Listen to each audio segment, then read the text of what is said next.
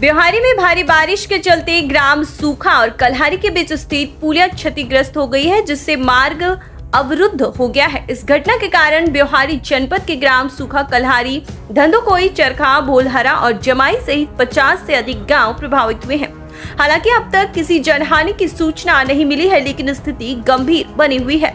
जिला प्रशासन ने सुरक्षा के दृष्टिकोण से पुलिया पर आवागमन को रोक दिया है और ग्रामीणों को अन्य वैकल्पिक मार्गों का उपयोग करने के निर्देश दिए हैं।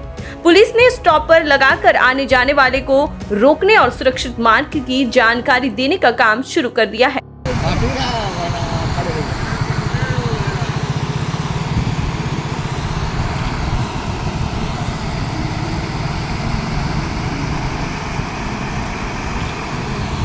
तक जाकर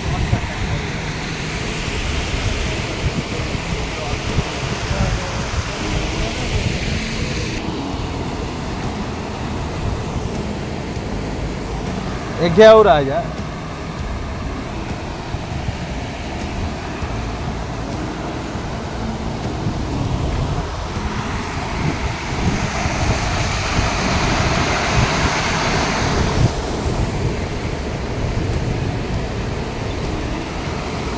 आवा सिद्धू भाई आवा आवा।